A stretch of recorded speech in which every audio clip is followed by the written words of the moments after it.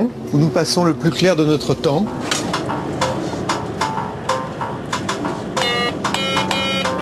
Ah mais en plus il s'accorde. Hein. Ça qui génial, il y a un tune. Attends, séance d'accordage d'abord. Il doit y avoir un moyen de mettre le niveau plus fort. en Ça.